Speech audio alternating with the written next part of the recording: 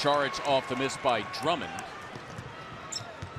Dario, and there is Drummond, very slow to get back. And to add insult to injury, if you will, he fouls Richaun Holmes, who has the opportunity now for the three-point play. That aforementioned energy that needed to be supplied. How about the nice little dish from Dario Rashawn filling a lane right down Broad Street. Foul.